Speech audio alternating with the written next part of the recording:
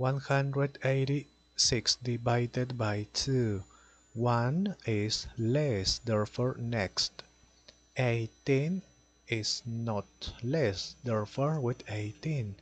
2 multiplied by which number is nearest to 18 but not greater 2 multiplied by 9 is 18 is not greater okay subtract 0 next eliminate 0 on this side. 6 2 multiplied by 4 is 8 8 is greater multiply by 3 6 is not greater subtract 0 next there is not number therefore finish it.